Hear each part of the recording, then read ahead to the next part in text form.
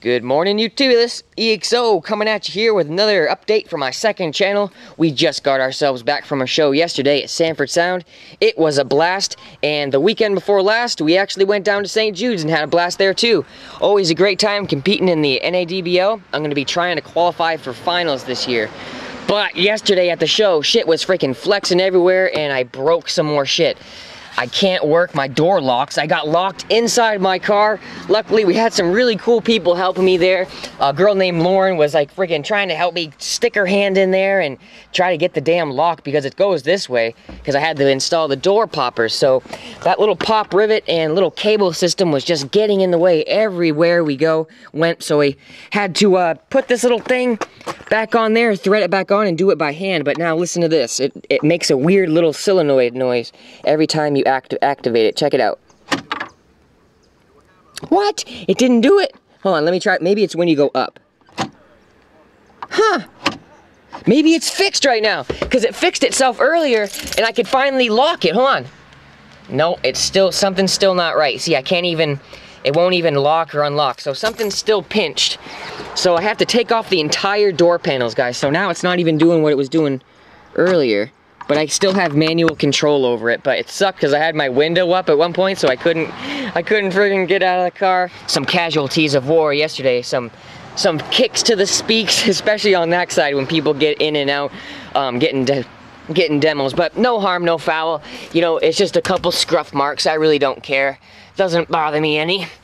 And uh, actually, at the show the other weekend, people didn't know that my box goes in like fucking 36 cubes. So let's go ahead and take a walk on the wild side and I'll show you guys um, inside the, uh, the box. So let's go to our flashlight and, whoops, don't power off. And we'll show you the inside of the box here. It's 36 cubes with the port in, which is on both sides. It's tuned to 28 and peaks at like 32 to 35. Um, and then with the port out, it's tuned to in the 40s and it peaks at like 46. I think. I'm, I'm, I'm not 100% positive. But let's go ahead and get in the box here and show you around. I have some LEDs in here, but um, my damn controller box, I think I mentioned that it shit the bed already, so we have all the information listed right here for the box. Right inside the box, you can see that everything is, you ha have all the math done right in here as far as the cutouts and how much cubes everything is working with. Um, I wanted to do it all on the inside of the box so I can remember what it is. And I got the woofer displacement up there, but it came into this uh, right here. So there's the one of the woofers in here. Uh, each woofer is kind of separated and has like its own little pressure uh, build-up chamber in here. So that's why I did that. It has like a little thing. See that? All the way up. It kind of encompasses it. It kind of emulates what's going on in the top. So um, back in there. I resined everything in here as far as I could go back. Um, that's the LEDs. Those are the LEDs right here um, going up. As you can see, it's I didn't resin over that because, you know, I didn't want to ruin anything. But, uh, yeah, so there's the inside of the box. 36 cubes, 37.9. Um, and then and then obviously I got some some displacement to take in here. So we're gonna add some 45s right in here, if you can see, uh, straight up all the way to make this flush right in there. So all right, let's go ahead and get out of here. So that's just showing people that didn't know that I actually have a pretty fucking big box. You just can't really tell by, uh, by sitting in front. So yeah, freaking yesterday was awesome, guys. Had a great time. And now what are we gonna do today? We have to, let's see if you can see, this damn lighting is horrible, holy smokes. So what we're gonna have to do is get a little podium here. Yeah, cause I can't fucking, I can't get into my back doors without figuring this out first. So I gotta fucking, you know, finagle this around cause this used to work and now it doesn't. Something's, something's loose in there. We gotta take this all off. So we gotta go in here and then take out our speakers, all of the speakers. There's two more bolts in there and then a couple more screws and then a couple screws right here. Um, they didn't hold very well, but it's been years now, so I guess it's doing its job. I also broke this at the show. I wasn't very happy. My rain guards fucking snapped on me. So now that up there is looking all haggard as shit. It's not even doing its job. I was getting a little bit wet on the way home. I jammed all the way to the show and all the way back from the show. So I only competed in baseball on yesterday. I didn't do uh, SPL Uh, so I took I took first in that. I just wanted to see how loud it goes. That's what I like doing. I like fucking just jamming it as loud as it will go. It's definitely always a good time. I got my new toolbox here. Oh, there's where my sandwich went. I had to stop for an emergency friggin' uh, food, and I, I left my sandwich in my truck. There's a nice shot right there. Holy shit, that is that is nice. Friggin', I like this fisheye. I can actually zoom out even more than that. Check that out. But then you can see like this little the lens right here. These are the edges of the lens right here, right there. So if I zoom in, you can get rid of it like that. So that's why I zoom in just a little bit. All right, so let's go ahead and get some blocks. I think I have some spare wood. Oh, God, see, I just kicked my own speaker. Oh, my goodness. I accidentally friggin' broke another belt yesterday. Well, not, I didn't break it. I just uh, snapped one of the ribs off. It's because I totally forgot to unplug the top three. So, yeah, I was jamming with all five again.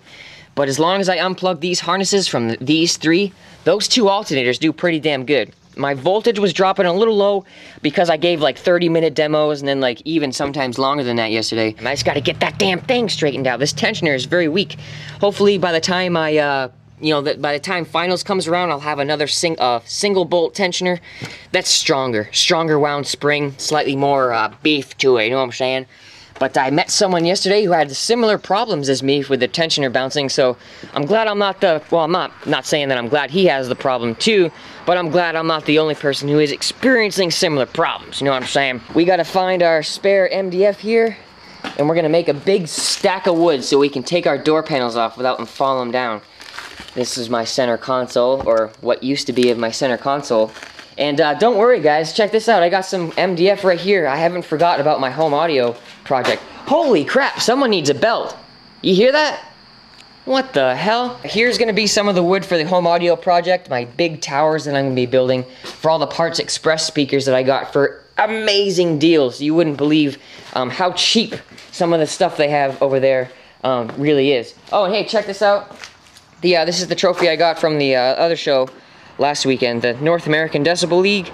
Big thanks to Jeremy Smithers, always puts on a great show. I'm gonna try to make it to the St. Jude show every year.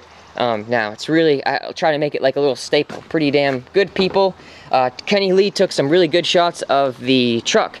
Oh, but you know what? If there's one thing I want to mention, you know, really in this video, is that lately, when I'm going to shows and all that, all I'm doing is focusing on having a good time. You know what I mean? Like, I barely bring my camera anymore to, to, to for these shows, you know, just because I, I love the the one-on-one interaction you have with the other person in the seat. You know what I mean? You you you're with them. You're not worried about you know holding the camera and looking at them because then it it makes their reaction change a little bit whether they want to admit it or not. Like whenever someone's on camera, their natural disposition, if you will, changes a little bit. You know, that they either become more shy or you know, you know, I like to, yeah, I like to just sit there with somebody and jam, just me and them. If they want to film it, great. But lately, I've been just leaving the camera at home, so it really feels good. I got awesome footage lined up and everything, but um, there you go, passing in a fucking double line, passing in a double line. What a douchebag fucking motorcycle guy that was. But uh, yeah, I mean, I got TDH, I got SBN still. Um, the first Sanford Sound Show, I think uh, some more stuff from the Frozen SPL show from other people's cars like Leo's uh, setup. And you know, just is so much backed up. And if you guys haven't noticed, it's been nice weather. And because I live in Maine, I try to eat up as many of those nice days as possible. It's almost August, let's just admit it. It's fucking winter time in Maine already. Not really, I'm exaggerating, but it gets to be cold so freaking quick. So sitting up in a bedroom or sitting inside editing all day, it really makes you feel like like you're wasting valuable time outside. And so that's what I've been doing lately. Been trying to work on the on the project as much as I can. And uh, if you're wondering about the blow through and stuff, um, I think I've already mentioned this once, but uh, my dad scored a new full-time job, and I'm working with him occasionally too, just going up and helping him on the job site. It's been hard to to get our schedules coinciding at you know because it was really easy to meet up when he had nothing going on, free time out the wazoo but not anymore. So that's why you've been seeing a delay on the blow through videos. Don't don't worry though. I'm gonna be I'm gonna be uh, when when I start getting shit done, I get it done quick. So the amplifier install literally is almost um almost complete. I just got to get a I have to get a couple more shots for this. Even though I had some leniency with the other video, I could kind of just put the little demo at the end and call it good. With this one, I definitely want to walk through and, and, explain the wiring that I did and everything like that because, you know, it, it kind of jumped along uh, during the video. So, um, this video is going to be a freaking long update video. I don't care. I haven't made one in a while. So, we have to get this shit open. We have to figure out a way to get this open today so we can get the shit that's in there. I got some stuff in there, my camera bag, and um, a, a, bunch of other various stuff, um, spare belts. So let's get that. This is also locked, and this is also locked. So I can't get into anything in my system, not a single thing. Everything is locked. Okay, I just want to mention one thing. Yesterday at the show, you know, it was, it was really great to see the family of this guy right here, good old fellow basshead, um, a fallen basshead from just this year. I'll never forget his setups, very unique, um, always doing something new with his with his um, car audio installations. And uh, I just want to send, you know, uh, as much love as I can out to the family here. It's a nice local competitor who, you know, always showed his support and love for the uh, for the league, uh, NESPL, TNESPL. So, um, you know, rest in paradise, my man, and we're all thinking of you. I'm gonna rock this on my car uh, just for you, my man. These are his double X's, or um, I believe they're the double X's. Um, maybe they're the triple X's, I'm not sure, but you know, there you go, my man. You're gonna have a special place right on my truck. All right, so let's go ahead and put the camera on the tripod, guys, and uh, get a little lighter hearted here and get these door panels um, off. It's gonna take a lot of work. I'm not gonna go through the whole thing individually because, you know, it's just, it's pretty simple, self-explanatory. I'm supposed to put the camera right here and uh, get to working. What do you say? And just like that, we have ourselves a little makeshift podium so we can rest the door pod right on it, right on the bottom. So when I undo these, it won't just fall off. This thing weighs like 80 pounds. I put in so much material into it.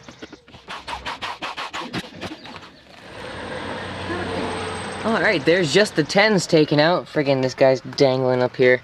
I'll be taking care of that later, but look at all the freaking dust I can vacuum out of here. Holy shit, we've been spitting up some shit. This is just uh, flexstone debris right here. So that's not, that's not coming off. But this stuff will be able to come right off. That's just a little bit of dust, a little bit of foam specks that's been flexing out of here. I'm gonna go ahead and tape up around this a little better and figure out what the hell is going on with our locking system. This used to work fine. I used to be able to push lock and unlock with it. Now something's not connected right, so we gotta we gotta figure out what's going on, guys. This is uh, some Alpha Damp right here, Second Skin Alpha Damp. I might have to give them a little message because I might need some more deadening. Ch listen to this, guys. Listen. I'm gonna put, I only really put it on the other side. I did spot treatment on this side. So I might do a whole layer on this side because it has a lot of, a lot of uh, resonance to it. Unwanted shit I don't want to hear. Yeah, so what we gotta do, uh, you can see we shaved that down month, years ago we shaved this down so everything can fit and oh look, this came loose too. A little screw. I'm not gonna use these anymore. It's because I couldn't get a bolt into it. I can't get my hand back there to uh, access the back for a bolt. But we have one right next to it, so it's not so bad. There's one right here. So let's now remove these two speakers so we can get to those stinking bolts. And then there's those two speakers, and we just gotta get that one bolt right in there. I guess I was mistaken. There's one bolt and one screw. But look how bad that screw stripped out from the door flexing up and down and left to right. It's like the opening wasn't even there anymore. It's completely gauged out. We gotta really beef this thing up so it's gonna be staying on there really good. Um, and not making all that stupid bunny rabbit noise, which is mainly coming from the locking mechanism itself.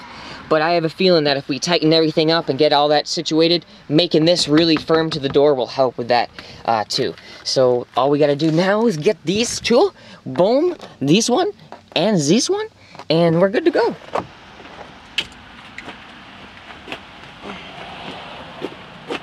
There she is.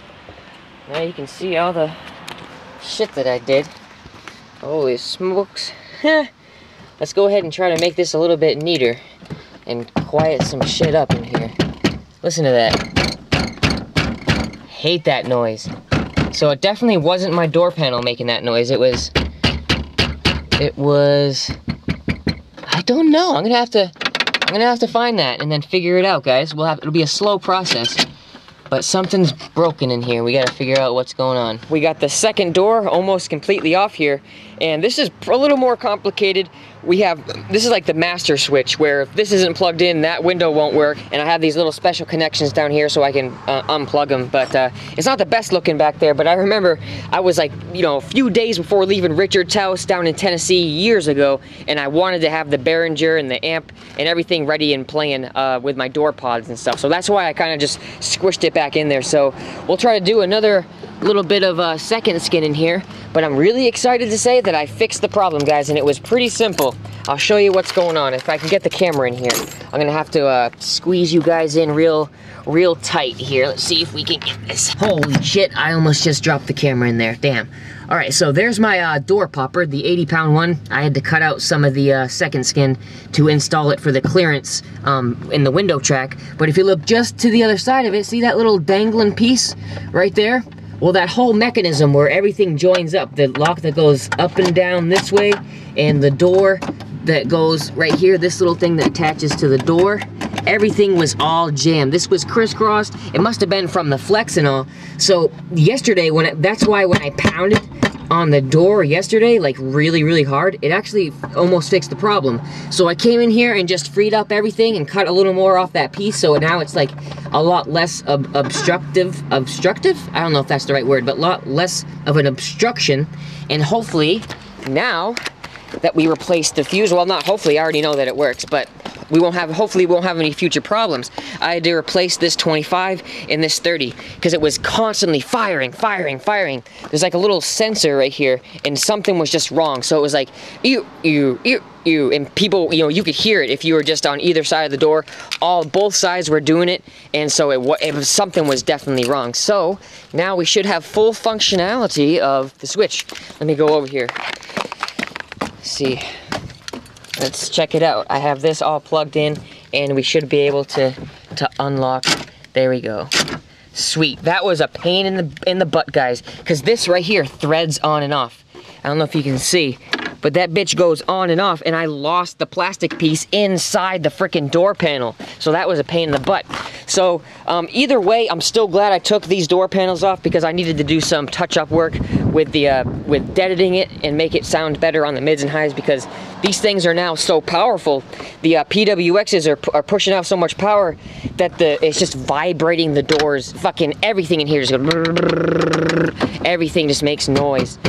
Gonna try to fix that. It's fucking really annoying and I hate it going to shows, you know, oh yeah, you know, sorry guys, it sounds like shit. but, you know, it really actually sounds good when you, when you start jamming it. Uh, I had a really successful day yesterday. So yeah, I mean, freaking hell guys, the, I, I can't say enough about the Crescendo gear. Like this whole season has been amazing. I love the Crescendo uh, amplifiers. Let's go ahead and pop the, so now that we finally can, all nice and we can get into every door that we need to. Just, I mean, fucking hell, guys, you gotta admit, this shit is really, it's just top of the notch, you know, I fucking, I'm so happy with it. Everything just looks the part, and I'm just, just sounds great. So, um, 30 seconds on music, I think I already, already mentioned it was like a 57 um, one, and I fucked up the second round, came out volume 32, but I made it up for it in the end. It's hard to make up ground once you've already freaking flopped out the gate, you know what I'm saying? And a uh, big shout out to always, I love my PSI Recones, guys. Let's look at the, people, people don't believe it, but look, this is true, man. Freaking 2012, in 2011. These coils were made back in 2011 and they're still going strong. Even though they haven't been playing that whole entire time, I beat the living piss out of these things. And I've, I've, and I'm not exaggerating when I've only smelt these probably five times.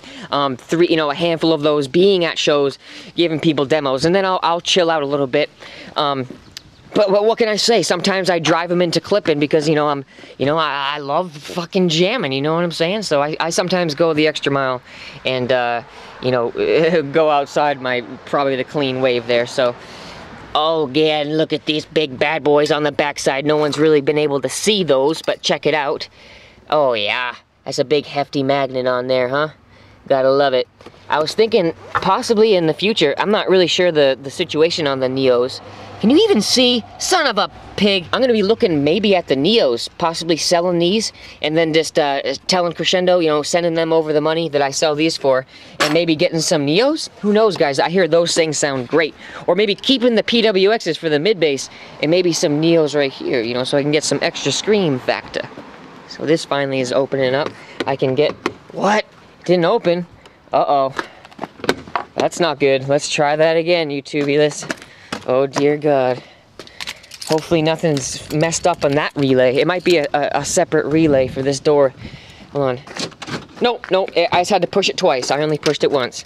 There they are. Had some questions about the symphonies, man. Freaking literally, these are the only amps for the whole mids and highs. And they scream. They freaking scream. Always at the show, sounding real good. I gotta get my little, uh, uh, my little windshield guard here rocking because I want to make sure I keep the cabin nice and cool. I always keep her fairly cold in there, so we're gonna do that in just a couple seconds. But now we gotta take care of all this shit so we can get to going in the next couple days doing this. So sorry if this is a really long video, guys. I just wanted to make something, you know, for today. I've been, you know, just, you know, trying to figure out what to do with, you know, the next step with the, with this bad bitch. So, you know what I'm saying? Something's always breaking, but that's the, that's the joy of being loud, I guess, huh? All right. Well, until the next video, guys, I think I'm going to wrap this up, call it good, continue to work on the beast today. All right. This is EXO signing out.